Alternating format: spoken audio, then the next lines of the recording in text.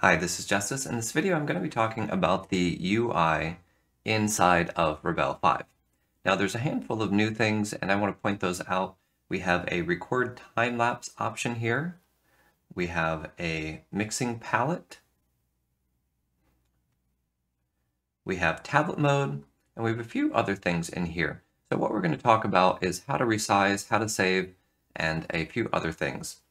All right, so let's go ahead and we're going to close this and we're going to go to window and we're going to reset layout to default. Yes, we're going to do this and let's close.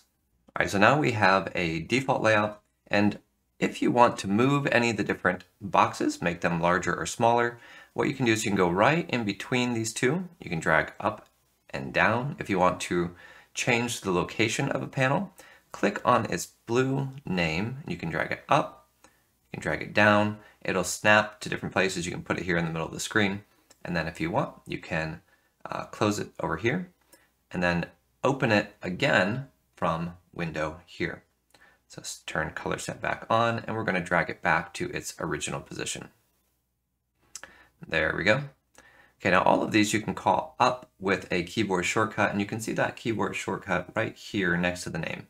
Now let's go ahead and drag the color set out and I'm going to point at a couple different things here open panel menu. These context menus are different for each of the different panels. So here you can see this context menu is showing us different options for color, different options for tilt, different options for color set. Right, so let's go over here to edit and preferences.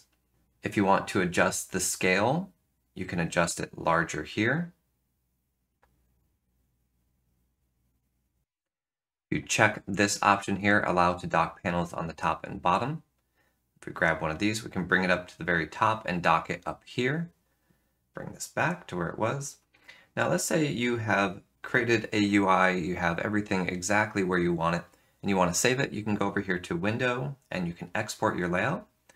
Let's say, say Justice's cool layout, and we click Save. Then we move these about which is how normal people say things. And let's go ahead and import. Let's import it open, and you're going to see it's going to put it right back to where it was. So I like that. That's a really nice feature to have. Now inside Rebelle 5, there is now tablet mode. Tablet mode, I love. I use the tablet all the time. And this has got a couple really great features. So I use tablet mode with the artist pad, and this allows me to do a handful of different things. So I'm going to demonstrate that real quickly. Here, desktop and tablet mode, you have the option of opening the panels under the cursor in the last position or in the center of the screen. Under the cursor is going to put it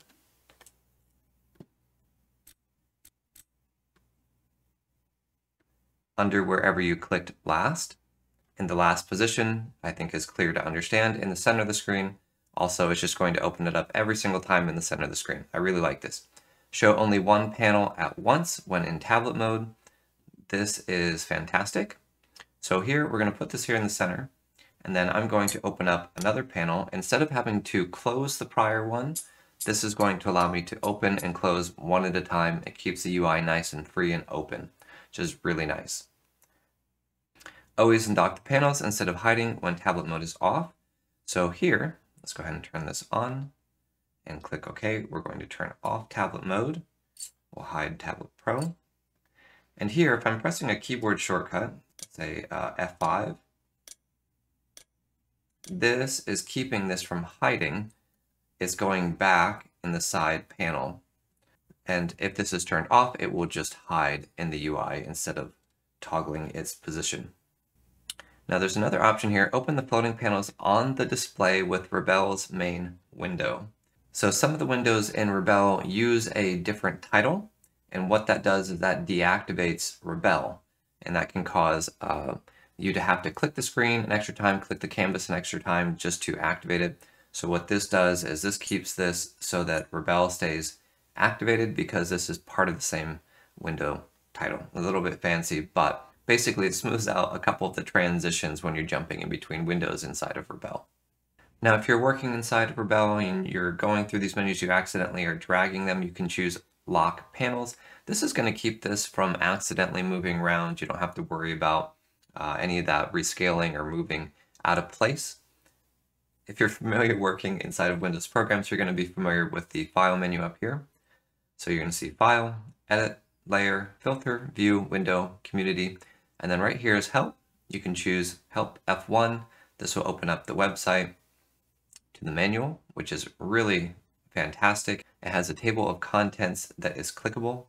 It'll take you directly to that section with great documentation to explain how things work. You can also go here, click on video tutorials, and it'll bring you to the Escape Motions YouTube page. All right, you guys, that's it for the UI. If you have questions, put it in the comments section. Again, thank you for watching the video. I'll see you in the next one.